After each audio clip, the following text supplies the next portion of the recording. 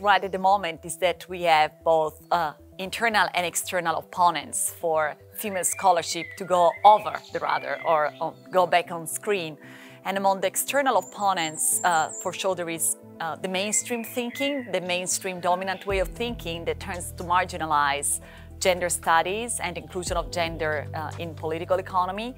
But there are also, I think, internal opponents, that is, the divisions within gender studies and feminist political economies at large, because we have a huge variation of scholarship within feminist scholarship that ranges from more positivist to more critical thinking, and not having a unified front can, uh, you know, kind of undermine uh, female arguments and female scholarship at large.